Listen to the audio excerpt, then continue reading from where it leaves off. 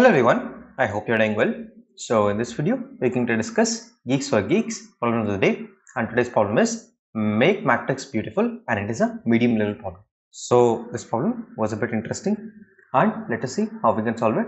It says that a beautiful matrix is a matrix in which the sum of each row and each column is equal and we have been given a matrix of size n cross n we have to find the minimum number of operations that are required to make the matrix beautiful in one operation we can increment any value by 1 right? So we can increment any of the cells by 1 now the expected time and space complexity is as follows. The time complexity is n cross n and the space complexity is o of n. Now let us see how we can solve it with the help of this particular example.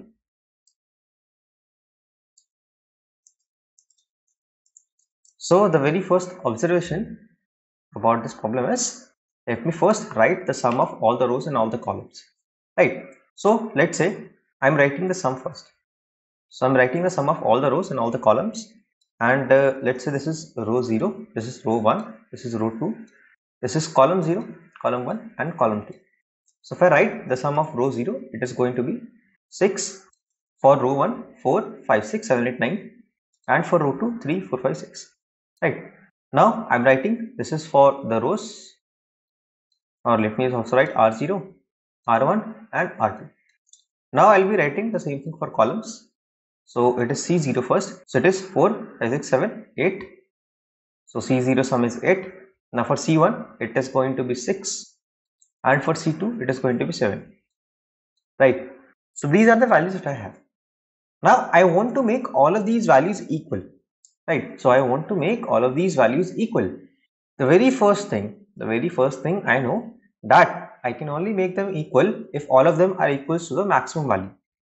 Why is it so? Because the operation that i'm allowed to do is to increment an element. As soon as i increment any element inside this matrix at least one of these values will get incremented right? So the only update we can make to all of these values is to increase them right? This is for sure now, if we are trying to increase them, it is only possible to make them equals to the maximum element to provide the minimum number of operations. Right. So, we can also make them all equals to 10. We can also make them all equals to 12, any value greater than 9. But to minimize the operations, we need to only make all of them equals to 9. Right. So, this is our first observation. Now, let us see if I want to make, let me just calculate the differences. Right. So if I'm trying to calculate the differences, if I want to make the row 0 is equals to this particular row 1 because it is the maximum value in that particular case, I'll have to increment this value by 3. Right. For row 1, I don't have to do anything because it is already equal to 9. For row 2, I have to increment this value by 3 again to make this equals to 9. Similarly for columns, I have to increment this column by 1 or the sum of column 0 by 1 in order to make this particular column sum equals to 9. Similarly, it goes for 3 here and for column 2 we have to increment it by 2. Right.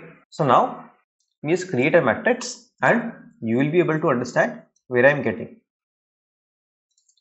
Now for row 0 I want to increment the sum of this row by 3 right so if I want to increment the sum of this row by 3, I can place the total sum anywhere either here or here or here. Right. I can also try to break it into different columns, but I need to place it in this row only. Right. So let's say I place it here exactly at column 1, 3 like this. Right. That means this is the difference that I am trying to place. So in the original array, you will increment this particular cell by 3. Right. So it is going to take you 3 operations.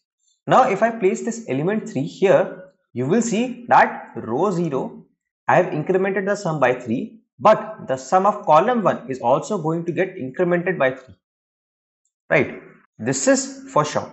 Now similarly, for row 2, I need to find a place to this particular 3 so that the sum of this particular row 2 increases by 3. Now I can try to place that particular 3 in any one of the cells or I can even try to break it into different parts. Right. So one way of doing it is I place 1 here and I place 2 here. Right. So why am I doing this? Because column 0 needs to get its sum incremented by 1 and column 2 needs to get its sum incremented by 2. So if I place it here the sum of column 0 is also get, going to get incremented by 1 and for C2 if I place 2 here the sum of column 2 is going to get incremented by 1. So for row 2 it is a total equivalent of 3 and I have divided it into two parts so that is why column 0 and column 2 are also getting its benefit. So we have seen that if I place any value or if I increment any value in any of the rows the columns are also getting affected right. So I don't need to increment any value twice, right? I can choose a value from here and I can try to divide it in such a way such that it also helps the columns and I don't have to increment all of those values again. Now, one very interesting part is that the sum of all of these values in the row is going to be equals to sum of all of these values in the column.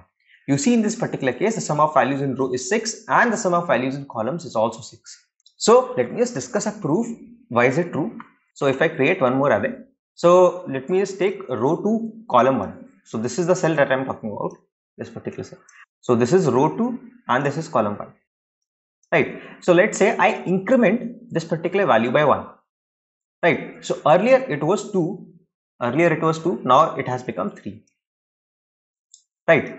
So the total sum of this particular row is now going to be 3, 3, 6 plus 1, 7. Right. Now the value of R2 which was initially 3 is going to get reduced to 2.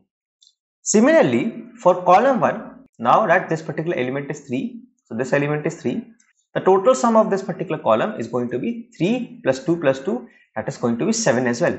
So now the total increment that this particular column needs is again 2. So you see as soon as this particular 3 was reduced to 2, 1 3 from here was also reduced to 2. Now the total sum of the difference in rows is equal to 5 and the total sum of the differences columns is also equal to 5. So no matter which element I change, if there is a change in the difference of row values, then there is also going to be a corresponding change in the difference of column values. Right. Now I know that the sum of all the row values and sum of all the column values is going to be equal. What are these row and column values? These are nothing but actually the difference difference between the current sum of that particular row and the sum that I need and that need is equal to the maximum sum that I have across all rows and columns. Right. Now I know two important things that the sum is going to be the same in both the difference of rows and columns and the second thing is that I can always take some value from here and I can divide it across multiple columns. For example, if row 0, row 1 and row 2 were like this 3, 0, 0 and column 0 column 1 and column 2 were like this. 1 1 and 1 so you see the sum is still the same and i have a 3 here. I can divide this 3 into three different parts so that row 0 will look something like this. Plus 1 here plus 1 here plus 1 here. So row 0 will total have an increment of 3 and each of the column 0 column 1 and column 2 will have an increment of 1 right? So this is exactly what we needed. That means there will always exist a way to divide the values among the rows and columns so the final conclusion is I can only make one operation. I don't need to make this operation twice. I can make an operation on either rows or either columns and it will also help me to adjust the values of the other part as well. Now at the end I don't have to do anything. I can to choose any one of them. I can either choose the rows or I can choose the columns. I have to take the sum of all the values of these differences and that will be my final answer. The first thing that I proved was that all the rows and all the columns needs to be equal to this particular value right. The second thing is the sum of the differences differences means the value that i need to add in this particular row to make it equal to the maximum row is equal to 3 right. These are the differences. The sum of differences of rows and the sum of differences of columns is going to be equal because if i make a change in any of the cells a corresponding change is also going to be there in the other half as well. Right now, after we have discussed this, we have also discussed that if they are equal, I can take any value from here and divide it equally or divide it in a corresponding manner to the other half as well.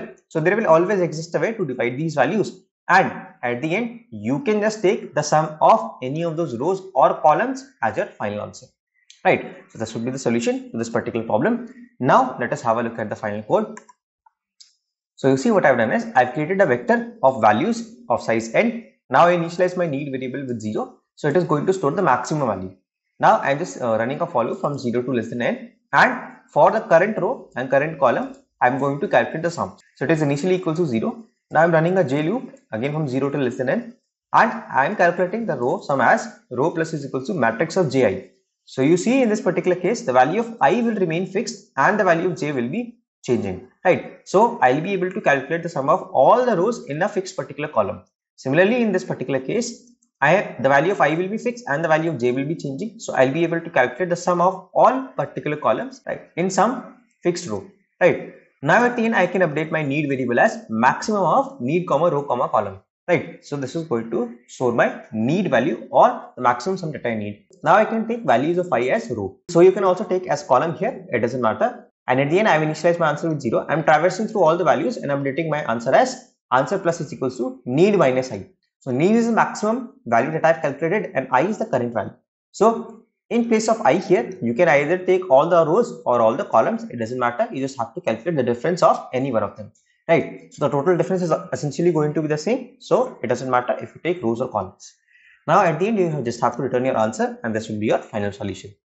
So this was all about today's problem of the day. Now let me just quickly submit this and show you that this particular code works and the solution is absolutely correct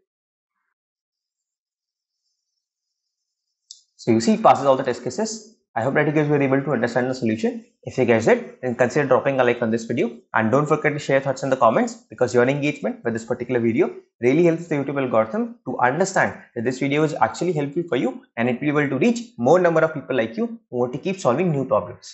So I see a lot of people who watch these videos are not subscribed yet. In case you're one of them, then definitely consider subscribing. It's always free of cost and you can always unsubscribe if you don't find the videos interesting later. So share this channel with your friends. Until the next video drops, keep coding, stay safe. Bye bye.